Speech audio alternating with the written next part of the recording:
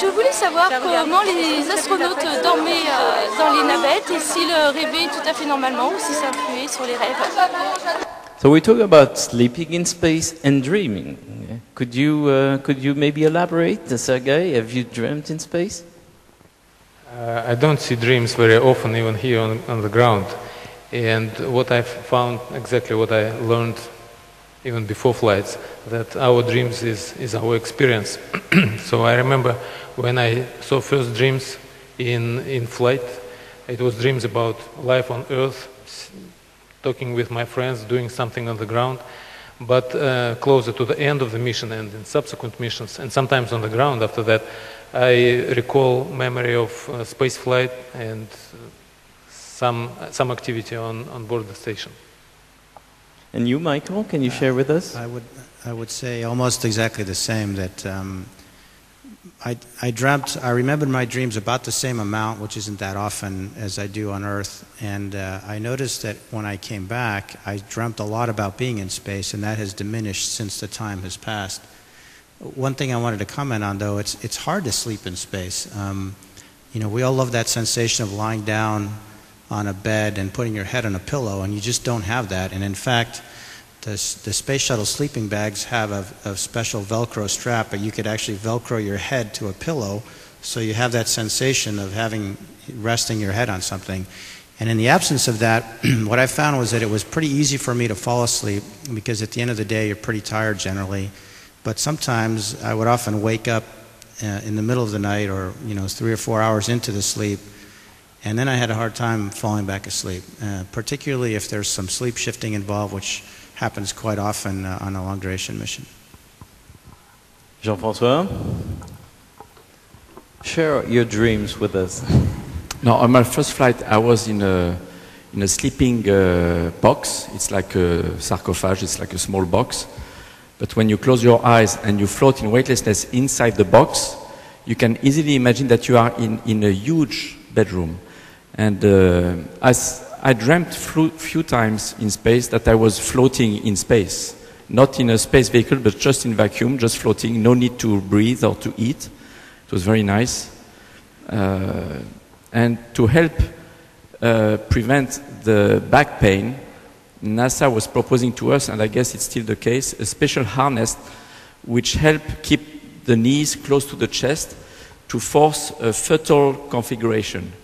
Because if you sleep uh, without any restraint system, the back tends to curve, and some astronauts were complaining, uh, I mean, severely about severe back pain. So the first time I slept slightly like, like a baby, like, you know, like uh, in a fetal position, and I, slept quite well. On my second space flight, I used sometimes some sleeping pills uh, to help fall asleep. I had told myself if I don't feel asleep two hours into the time where I should be in bed uh, sleeping, I would take a, a sleeping pill. And once it gave me very strong hallucination, and I, I um, scared Ed Lu, who went to wake up Jerry Linenger, the, the medical doctor who were just back from here. And uh, Jerry told uh, Ed, check that Billy Bob is breathing. If he's breathing okay, then that's fine. And Ed was ev- even more frightened by this suggestion, so he went to wake up Charlie Precourt in the cockpit, and he said, you know, if we need to do an emergency uh, deorbit prep now, uh, don't count on Billy Bob. He's, you know, in. I was seeing animals and people, but the next morning I woke up, I was fine. Satoshi, you, you, you preparing, I mean, you were signed for Expedition 20, if I remember correctly, so you haven't flown yet. What, what is the dream about flying? Well, uh, I'd like to sleep in the Japanese experiment module as well as working there, if possible. So you've chosen your room already? Yeah. You've reserved reservations in advance? Yes. And it's a long duration flight that you're preparing. Are you, are you being prepared differently for the long duration flight than, there's, than your colleagues' short duration flights? Yes, uh, the a little bit different, but uh, essentially the same. But the emphasis is on more on the uh, tech technical or uh, skill based, not the task based ones. Leo, did you sleep in your home base in Columbus module? Uh, actually, I didn't. Uh, I had uh, um, uh, my my cabin was in the Russian um, service module, what they call the Kayuta, and uh, I spent uh, most of my flight there. And then when uh, my um, when the, the next um, um, U.S. astronaut arrived on board, uh, Garrett Reisman gave him the cabin and went to the Russian docking compartment, which, were, which was much more noisy. Um, I'm sorry to be a little bit disappointing, but uh, I, I, did, I don't remember my dreams usually, and I didn't uh, in space either. Um, but I, I noticed something for sleeping. Um, I used to sleep on my, on my stomach on the, on the, uh, on the Earth. And uh, so when I'm trying to do that in space, it never works. So I, could rotate a lot of times and without sleeping. But uh, I agree with Michael also that the sleep shifts uh, were uh, kind of disturbing. We had a big sleep shift during the flight, 10 hours, and then several small ones. And that's probably the main reason why I didn't sleep very well. Yeah, maybe you had the Velcro on your front head. That's why. Yeah, we can find something. Yeah, we have some bungees uh, which, which work, uh, make, make, makes it a little bit easier. But uh, yeah, the, I didn't find the, the real right technique for sleeping well. Professor? Uh, just a detail about the sleeping bag. The sleeping bag is not like the regular sleeping bag you buy when you go camping because astronauts have found themselves outside the sleeping bag in the early flights.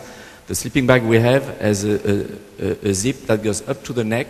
There are two openings for the, the two arms, so you cannot escape the sleeping bag while you're sleeping. And at the four corners, you have a special atta- attachment device, and you, you can put the sleeping bag where you want. On my second space flight and, and third, I liked very much to fly on the ceiling of the mid deck of the space shuttle facing down. And once Eileen Collins was just next to me, but facing the ceiling just 20 centimeters away from her eyes, I would have not been able to sleep with knowing there is a structure just next to me. But you know, astronauts are, are sleeping in any attitude, and that's quite fun to, to, to see the picture of the setup of sleeping, bags of the whole crew that are upside down on the walls, on the ceiling, but it, it works well. And if you don't attach yourself, if you're in your sleeping bag and you don't use the uh, special attachment devices, as you call them, I don't know. you, you basically float through the station as you sleep. You probably, Nobody's don't, you probably don't float too far. You probably hit something on the way. but actually, talking about orientation uh, during flight, I remember uh, some crew members uh, so used to have uh, ceiling and floor on the station uh, on the ground. So they, they try to take position kind of parallel to floor because they said it's inconvenient to, uh, to sleep perpendicular to floor.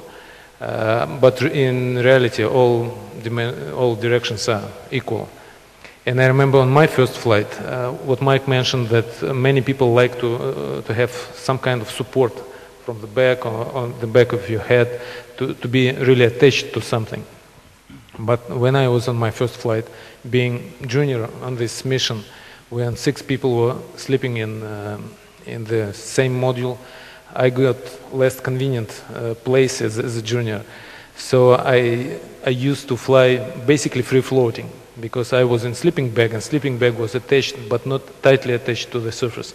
So I get used to um, sleep free floating. So later when I was able to attach it to the wall, I just slightly attached it to, to have more, more degrees of freedom.